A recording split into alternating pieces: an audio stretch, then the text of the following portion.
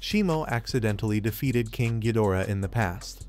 The Godzilla X Kong novelization revealed that Godzilla and Mothra defeated King Ghidorah 13,000 years ago.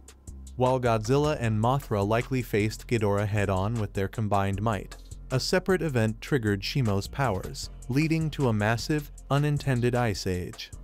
This icy blast, a consequence of Shimo's struggle to control her immense power, encased the weakened Ghidorah in a glacier, a chilling tomb created by Shimo and a testament to the combined might of the Defenders. This theory paints an intriguing picture of Godzilla and Mothra as the intentional heroes and Shimo's significant contribution, though entirely accidental.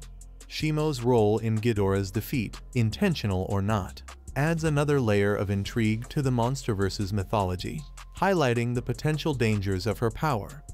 Shimo emerges as a crucial guardian in the face of future threats, her mastery over Absolute Zero allows her to manipulate the battlefield like no other Titan.